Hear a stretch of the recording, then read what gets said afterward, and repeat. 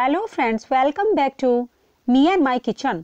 और आज मैं आपके साथ शेयर करने वाली हूँ बहुत ही स्पेशल और यूनिक रेसिपी जो कि है अरेबिक डिजर्ट्स या ऑरेंज मिल्क फूडिंग रेसिपी चलिए फिर इस अरेबिक डिजर्ट्स को बनाना शुरू करते हैं। अरेबिक डिजर्ट्स बनाने के लिए मैंने लिया है डेढ़ कप फुल क्रीम दूध और अब मैं एक बाउल लूँगी और इस बाउल में डालूँगी दो टेबल स्पून कॉर्नफ्लोर और इसमें चार चम्मच दूध डालूँगी। मैंने इसमें ठंडे दूध का यूज़ किया है। और अब मैं दूध और कॉर्नफ्लोर को गुठलियाँ ख़त्म होने तक मिक्स करूँगी।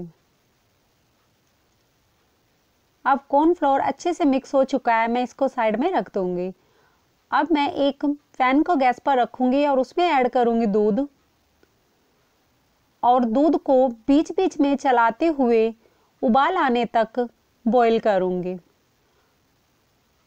और अभी मैंने गैस का फ्लेम हाई रखा है। अब दूध में बॉईल आ चुका है। अब मैं इसको एक बार चला लूँगी और इसको अब मैं मीडियम फ्लेम पर कॉर्नफ्लोर मिक्सचर ऐड करूँगी। कॉर्नफ्लोर मिक्सचर को थोड़ा थोड़ा करके लगातार चलाते हुए मिक्स करें। अब मैंने इसको अच्छे से मिक्स कर लिया है। अब मैं इसको लो फ्लेम पर गाढ़ा होने तक पकाऊँगी।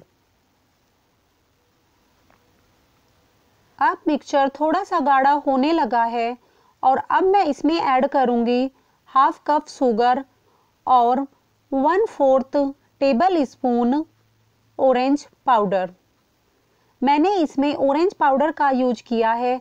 आप ऑरेंज पाउडर की जगह फ्रेश ऑरेंज को ग्रेट करके इसमें one table spoon orange peel add कर सकते हो। अब मिक्सचर अच्छे से गाढ़ा हो चुका है और मुझे इसे कुक करने में छः से सात मिनट लगे हैं। और साथ ही में फ़ैन की साइड भी छोड़ने लगा है।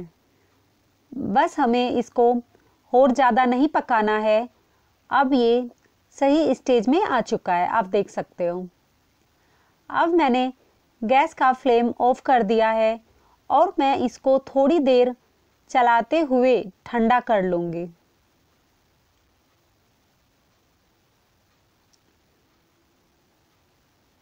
अब मिक्सचर थोड़ा सा ठंडा हो चुका है। और अब मैं इसको एक सर्विंग बाउल या फिर गिलास में डाल लूँगी। और सर्विंग गिलास में डालने के बाद अब मैं इसको 10 मिनट के लिए फ्रिज में सेट होने के लिए रख दूँगी। और जब तक हमारा मिक्सचर सेट होता है, मैं इसकी दूसरी लेयर तैयार करूँगी, जिसके लिए मैंने लिया है डेढ़ कप ऑरेंज जूस और अब मैं लूँगी टू टेबल स्पून कॉर्नफ्लावर और इसमें ऐड करूँगी टू टेबल स्पून पानी। मैंने इसमें नॉर्मल पानी का यूज़ किया है और अब मैं पानी को कॉर्नफ्लोर में गुठलियाँ ख़त्म होने तक मिक्स कर लूँगी। अब कॉर्नफ्लोर और पानी अच्छे से मिक्स हो चुका है, मैं इनको साइड में रख दूँगी। और अब मैं एक पैन को गैस पर रखूँगी और उसमें ऐड करूँगी ऑरेंज जूस। और वन फोर्थ कप शुगर। और अब मैं जूस और शुगर को लो फ्लेम पर मिक्स कर लूँगी।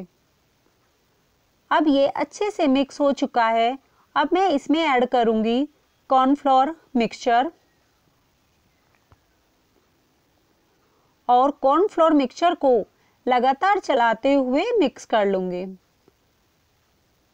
मैंने कॉर्नफ्लोर मिक्सचर को अच्छे से मिक्स कर लिया है और अब मैं इसको मीडियम फ्लेम पर ही लगातार चलाते हुए कॉर्नफ्लोर और जूस के गाढ़ा होने तक कुक करूँगी। मुझे इसे पकाने में छः से सात मिनट लगे हैं। आपको इसको कुक करने में बस एक चीज़ का ध्यान रखना है कि आप लगातार चलाते हुए कुक करें, जिससे कि ये फ़ैन के तले में लगे नहीं। अगर ये जल गया तो इसका पूरा टेस्ट खराब हो जाएगा। अब ये अच्छे से गाढ़ा हो चुका है और मैंने गैस को ऑफ़ कर दिया और इसको चलाते हुए ठंडा कर लिया है। अब हमारा गिलास भी सेट हो चुका है। मैंने उसको फ्रिज से निकाल लिया और सेकंड लेयर भी उसके ऊपर डाल दूँगी। और इसको डालने के बाद मैं फिर से फ्रिज में 10 से 15 मिनट के लिए रख दूँगी। 10 से 15 मिनट बाद मैंने गिलास को फ्रिज से निकाल लिया और अब मैं थोड़े से पिस्ताचो से गार्निश करूँगी। आप इसको अपनी मनपसंद अनुसार किसी भी ड्राई फ्रूट से गार्निश कर सकते हो।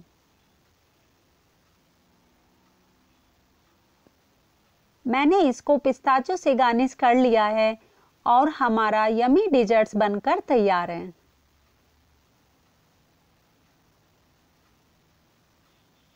मैं आपको इसका टेक्सचर दिखाती हूँ कि ये कितना स्मूथ और क्रीमी बना है। और अगर आपको ये अरेबिक डिजर्ट्स रेसिपी अच्छी लगी हो तो इस वीडियो को लाइक और शेयर और मेरे चैनल को सब्सक्राइब करना मत भूलिएगा।